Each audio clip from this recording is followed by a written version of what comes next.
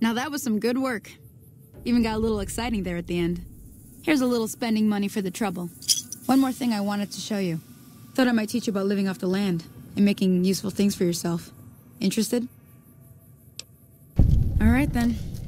We'll need a couple ingredients to get started. Gonna want some xander root and a broc flower. Let me think now.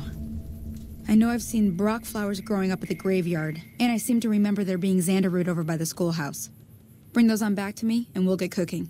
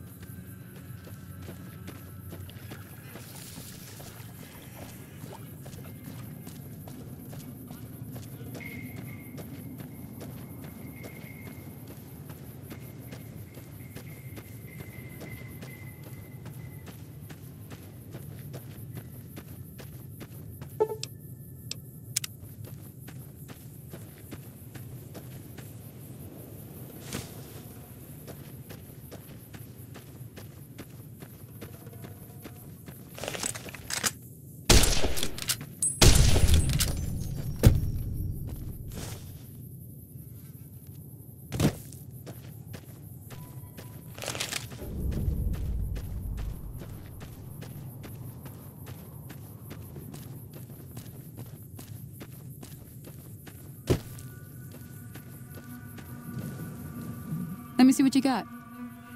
Yeah, these'll do just fine. Just fine. All right, now. We're gonna be making something folks on the trail call healing powder. Go on over to that campfire now. Give it a try.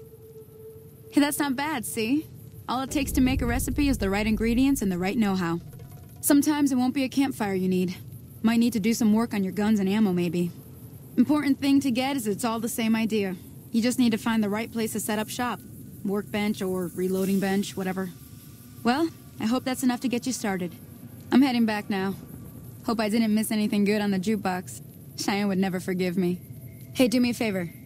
Trudy, she's the bartender up at the Prospector. Kind of the town mom.